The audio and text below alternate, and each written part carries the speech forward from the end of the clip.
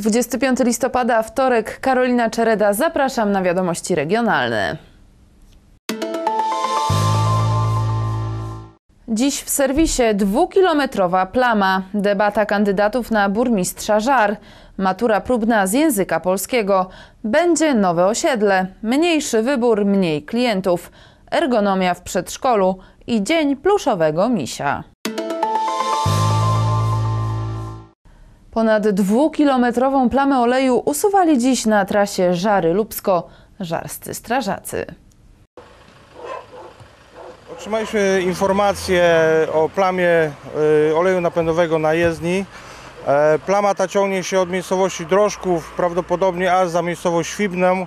W tej chwili e, przy usuwaniu tej plamy pracują trzy zastępy Straży Pożarnej, dwa z Żar, jedna z Lubska. I cóż, nasze działania polegają na spryskiwaniu tej plamy dyspergentem, który spowoduje rozłożenie, rozbicie tych cząstek olejowych i zlikwidujemy w ten sposób śliskość na jezdni. Czy to stanowi jakieś zagrożenie tutaj dla, dla kierujących? E, tak, jak najbardziej. E, pogoda ta, która jest obecnie e, mokra nawierzchnia, do tego jeszcze ten olej napędowy powoduje dużą śliskość na jezdni. Może dojść do, do wypadków, do wpadnięcia w poślizg. W ostatecznej rozgrywce o fotel burmistrza Żar zawalczą Danuta Madej z Forum Samorządowego Miast i Gmin Powiatu Żarskiego i Franciszek Wołowicz z SLD Lewica Razem. Wczoraj telewizja regionalna i gazeta regionalna zorganizowały debatę kandydatów z udziałem mieszkańców Żar. Wczoraj w restauracji Janków przy ulicy Długosza w Żarach odbyła się druga debata kandydatów na burmistrza Żar. Tym razem wybór mieszkańców ograniczy się do dwójki kandydatów, którzy w pierwszej turze zdobyli najwięcej głosów. Pojedynkowi Franciszka Wołowicza kontra Danuta Madej przyglądali się licznie przybyli na debatę mieszkańcy Żar. Padały pytania od redakcji telewizji regionalnej i gazety regionalnej. Kandydaci pytali siebie nawzajem, ale najwięcej emocji wzbudziły pytania od mieszkańców. Jedno z nich dotyczyło zanieczyszczonego powietrza w żarach. Oto jakie rozwiązanie proponują kandydaci.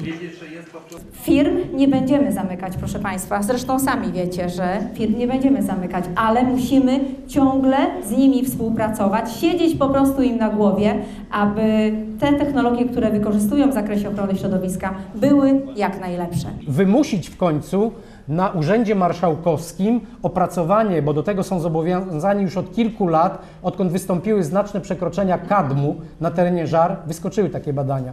W tym momencie natychmiast Urząd Marszałkowski był zobowiązany do sporządzenia planu ochrony powietrza dla żar. Do dzisiaj go nie ma i to musimy wyegzekwować. Całą debatę będą mogli Państwo obejrzeć w najbliższy piątek tuż po serwisie informacyjnym. Zachęcamy do udziału w niedzielnych wyborach i obyśmy dokonali mądrego wyboru. To była próba przed najważniejszym w ich życiu egzaminem. Żarscy maturzyści zasiedli dziś do matury próbnej z operonem. Taki egzamin daje im możliwość sprawdzenia wiedzy. To też doskonała okazja, żeby zobaczyć, co czeka ich w maju. Przygotowujemy uczniów do już tej właściwej matury, która będzie w maju. Ja, Więc to jest jakby Operon, wydawnictwo, które nam przygotowuje arkusze próbne. No i pracujemy. Czy zapoznał się pan z pytaniami dzisiejszej matury? Tak, no jak roznosiłem pracę, to tak. No, w klasach technikum to była, między innymi była, yy, jak dobrze pamiętam, granica i chyba wiersz Juliana Tuwima. Natomiast yy, w klasach trzecich liceum była lalka i, i, i chyba wiersz, yy, wiersz Szymborskiej. O wrażenia tuż po egzaminie zapytaliśmy uczniów żarskiego ekonomika. No mam nadzieję, że dobrze zobaczymy jak będą wyniki. Tematy jakie? Y, No była granica i był Macbeth, y, także granica była dla mnie łatwiejsza. Takie tematy, których się spodziewałeś? Raczej nie, ale mimo wszystko było w porządku. E, Michał, tobie jak poszło? No, mam nadzieję, że dobrze, zobaczymy, jak, jak to nauczyciele nam sprawdzą. Tematy nie przeraziły mnie, aczkolwiek wybrałem, tak jak kolega, drugi temat. No i myślę, że poszło dobrze. Jestem zadowolony osobiście. A stresowałeś się troszkę?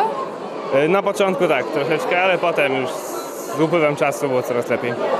Całkiem nieźle, na razie tak mi się wydaje, chociaż na pewno to było wyzwanie, bo pierwszy raz w nowej formule tą maturę pisaliśmy, ale myślę, że nie jest najgorzej. E, mocno się stresowałaś? Jak na razie nie, cały czas mam świadomość, że to przecież jeszcze nie jest ta oficjalna matura, ale zawsze jest jakaś presja, żeby były dobre wyniki. Czy wolę matematykę, ale nie najgorzej. To jutro matematyka, będzie lżej?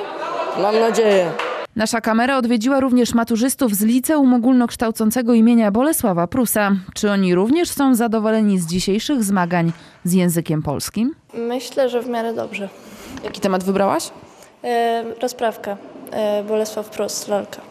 Emigracja, e, tragiczna konieczność czy szansa? Tragiczna konieczność czy szansa? Myślę, że jedno i drugie. Spodziewałem się czegoś trudniejszego, e, ale myślę, że sobie poradziłem. Zarówno mojej koledzy, jak i koleżanki. Myślę, że też nie mieli problemu z zadaniami. Tak jak powiedziałem, spodziewałem się czegoś trudniejszego, a jednak e, zadania myślę nie, by, nie były aż takie zbytnio wymagające. Nie z wszystkich przedmiotów uczymy się z podręczników operonowskich, a ona jest właściwie przygotowana przy- yy, pod te podręczniki. Natomiast ja przekonałem rodziców do tego, że chyba warto spróbować, żeby zobaczyć na jakim etapie przygotowań znajdują się nasi uczniowie i co trzeba poprawić, jak to w ogóle wygląda.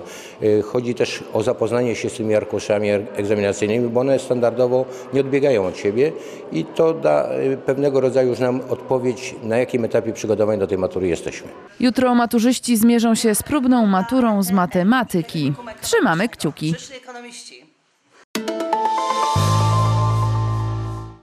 Będzie nowe osiedle w okolicy Zielonego Lasu w Żarach. Szczegóły w materiale. Będą nowe mieszkania w Żarach. Miasto w ramach przetargu sprzedało prawie 2300 hektara firmie deweloperskiej Locus 1 z Żar. Działka znajduje się w pobliżu Zielonego Lasu w rejonie ulic Leśnej, Huculskiej i Świętego Brata Alberta. W planach jest budownictwo wielorodzinne. Kiedy ruszy budowa, nie wiadomo. W pierwszej kolejności działkę trzeba uzbroić i wybudować drogę dojazdową. Działkę miasto sprzedało za 1 434 tysiące złotych. To już tradycja. Jak co wtorek nasza kamera odwiedziła miejskie targowisko przy ulicy Lotników w Żarach. Sprzedawcy narzekają ostatnio, że klientów odwiedzających rynek jest coraz mniej. No na bazarze tak jest, jak jest jesień, zimno, no to i klienta nie ma. No właśnie o tych klientów chciałam dzisiaj zapytać. Cieniutko. Tak, cienko się robi, jest taki zastój. Być może, że przed y, świętami coś się trochę ruszy, ale jeśli będzie zimno, to na pewno nie. A co kupują najchętniej, jeśli już się pojawiają? Yy, powiem szczerze, że tak troszeczkę marchwi zaczęli kupować ziemniaki. Yy, nie robią ludzie zapasów na zimę, że już nie mają tego ziemniaka po piwnicach pochowanego, więc tak na bieżąco kupują. Jak idzie handel? Tak sobie. Nie ma się Dlaczego? oczekiwać. Y, okres przedświąteczny, każdy trzyma ten grosz w kieszeni. No, cudów nie ma. Myślę, że będzie lepiej przed świętami. Ale co schodzi najbardziej? W obecnej chwili no chyba jabłka, no bo to są w sezonie, no i nie są takie drogie, nie? Pomidor już mniej schodzi, bo jest droższy, ogórek tak samo. No i tak po troszkę. Bardzo słabo idzie. Mam nadzieję, że wszyscy przyjdą z tych marketów do nas i zapraszamy. Czemu taki zastój jest? Bo zimno. Dlaczego? Nie mam pojęcia, czy to przed świętami, czy to po świętach, yy, nie wiem. Przed świętami to może Boże Narodzeniowe, już widzę tam y, nawet choinki, tam y, światełka, to może coś takiego już. Nie wiem. Chyba bardziej się ruszy w grudniu. Rzeczywiście, święta bożonarodzeniowe dotarły nie tylko do marketów. Świąteczne ozdoby kupimy również na targowisku. Czy kupują światełka już? Tak, już światełka się sprzedają. Jakieś moda jest w tym roku na jakiś kolor może? Na kolory jak zwykle kolorowe, ale ogólnie LEDy, energooszczędne światełka. Wybór spory. No tak jest, jak co roku. A co kupowali dziś ci, którzy rynek odwiedzili? Ogólnie po warzywa, po jakieś takie uzupełnienie. No bo do świąt jeszcze daleko, to żeby myśleć o jakichś większych zakupach, ale takie bieżące zakupy. Często odwiedza pan targowisko? E, No coś często. Raz w tygodniu jestem. Jestem, no także żona sobie chodzi e, swoimi ścieżkami, ja swoimi. No i, i żeby na uzupełnienie e, było nam świeżego coś, nie? Po co dzisiaj na zakupy tutaj? A no, warzywa, bo jadę do Włoch, do córki i muszę zabrać. Takie nasze żarskie Nasze żarskie, tak, bo tam nie ma takiego czegoś. Ej, w Kauflandzie jakieś wędliny trochę kupić. Mama przywieź wałówę. E, proszę powiedzieć mi, czy często odwiedza Pani targowisko? No co rynek. No wie pani, ja też na wsi mieszkam, ale nic się teraz w zasadzie nie trzyma, bo też wszystko kosztuje, a za te 50 groszy, chciałam powiedzieć 50 centów, to się nie opłaci robić. Jajka, cebulę i miód. A często tak Pan odwiedza to nasze żarskie targowisko? W zasadzie jak każdy targ. To jest taki spacer jednocześnie rano, żeby wyjść z domu, troszkę pochodzić, trochę znajomych się spotka i jest wtedy fajnie, nie mija dzień. A co z cenami? Coraz droższe są pomidory. Kilogram kosztuje od 5 do ponad 7 zł za kilogram. Kalafiora kupimy za 6 zł, ziemniaki za złotówkę. Kapusta, rzodkiew i szczypior kosztowały 2 zł. Marchew, buraki i natka pietruszki złoty 50. Brukselkę kupimy za 4,50, a paprykę od 4 aż do 9 zł za kilogram. Kilogram słodkich jabłek kosztuje 2,50, a gruszek 4,80. Życzymy udanych zakupów.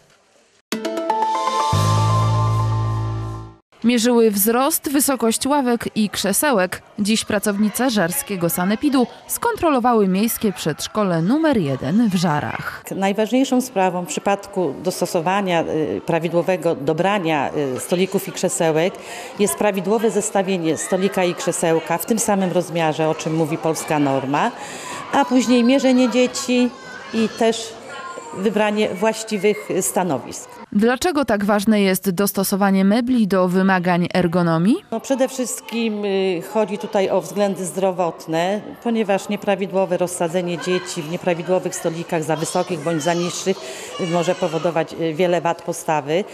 A także no, dobre dostosowanie y, poprawia komfort y, taki psychiczny y, dziecku. W jednej z grup pracownice sanepidu wykryły pewne nieprawidłowości. Na czym polegają? Na z- 23 dzieci zmierzonych, 8 dzieci siedziało w zawyżonych, czyli w za wysokich do swojego wzrostu stolikach i krzesełkach. No w takiej sytuacji najprawdopodobniej będzie wystawiona, bo tak postępujemy, będzie wystawiona decyzja administracyjna z terminem wykonania i takie rzeczy się zdarzają czasem. Właśnie dlatego między innymi przeprowadzamy takie kontrole. A co mówią statystyki? Czy jeżeli chodzi o dostosowanie mebli do wzrostu dzieci, bywa to bardzo różnie. Na przykład w 2013 roku było to 31% zbadanych dzieci, które zajmowały nieprawidłowe do swojego wzrostu stoliki i krzesełka. No tutaj akurat działamy dosyć szybko, terminy są krótkie, czyli wystawiane są decyzje, które zostały wszystkie wykonane. No w roku 2014 jak do tej pory, to tak 11% y, dzieci siedziało w nieprawidłowych stolikach i krzesełkach i też sytuacja została już naprawiona. W miejskim przedszkolu numer 1 w Żarach problem zlikwidowano od ręki. Już w trakcie kontroli zapewniono dzieciom odpowiednie stoliki i krzesła. Sanepid nie wydał więc decyzji administracyjnych nakazujących poprawę stwierdzonych uchybień. Dzisiaj obchodzimy Międzynarodowy Dzień Misia. Pluszak kończy dziś 112 lat. Z tej okazji w Miejskiej Bibliotece Publicznej cztero i pięciolatki świętowały w towarzystwie swoich pluszaków. Były wiersze i piosenki o misiach, zabawy i konkursy. Chciałyśmy pokazać, e, że jest to bardzo ważna zabawka, pomimo nowoczesnych e, gadżetów, zabawek, które e, zasypują po prostu i sklepy. Chcemy pokazać, że miś no to jednak jest taka naj, najbliższa nam zabawka. Znane pluszaki to Puchatek, Uszatek, Miś Jogi czy Miś Paddington. Od 100 lat misie towarzyszą dzieciom na całym świecie. Dodają otuchy, pocieszają, łagodzą lęk przed samotnością. A jak on się nazywa? Przyjaciel. A skąd go masz, pamiętasz? Od cioci Patrycji z Guzowa. No i opowiedz o nim, co ty z nim robisz? Czy śpi z tobą zawsze? A bez niego nie zaśniesz? Mm-mm. Kochasz go? A dlaczego go kochasz? Jaki jest? No bo, no bo ciągle, bo jak z nim nie zasnę, no to śnią mi potem się koszmary. To jest twój pluszaczek? E, tak, i mam jeszcze pieska blusacka. A kochasz je? Tak, No i opowiedz, dlaczego je kochasz? mm, bo są moje ulubione. I co ty z nimi robisz? E, bawię się nimi. Stasiu, ty przyszedłeś dzisiaj też ze swoją zabawką? Tak. No i opowiedz, Kto to jest? Mm, Maciek. Misiu Maciek? To twój ulubiony pluszak? Tak, No opowiedz coś o nim. Dlaczego go tak bardzo kochasz? bo jest bardzo fajny. I co ty, jak się nim bawisz? Co ty z nim robisz? Na, na bajana. Maluchy mogły skosztować ulubionego misiowego smakołyku. Jest nim oczywiście miód. Spotkaniu uczestniczył zastępca burmistrza Edward Łyba. Jako hodowca pszczół opowiadał dzieciom, jak należy obchodzić się z pszczołami, by nie zrobiły nam krzywdy.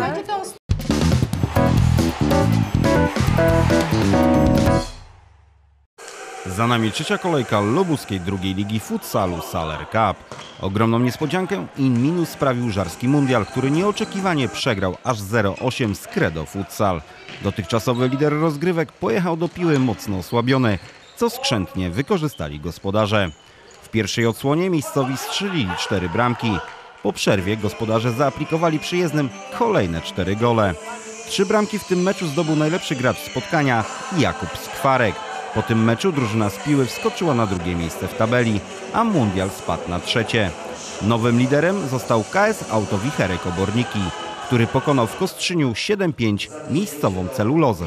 Z drugiego zwycięstwa w sezonie cieszyli się zawodnicy Mosiru AZS Uniwersytet Zielonogórski, którzy po niezwykle emocjonującym meczu pokonali u siebie 6-5 Beniaminka KS Sporting Futsal Leszno.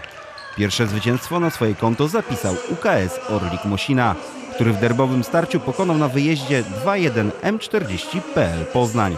W najbliższy weekend w Lubsku zostanie rozegrany wojewódzki finał Pucharu Polski w futsalu.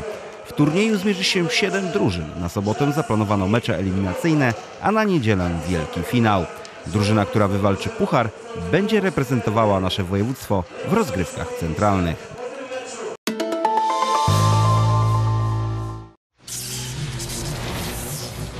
Sponsorem prognozy pogody jest PGE, Polska Grupa Energetyczna. Najbliższe dni przyniosą wyraźne ochłodzenie, a jaka aura czeka nas w środę? Szczegóły za chwilę. Paulina Zgarska zapraszam na prognozę pogody.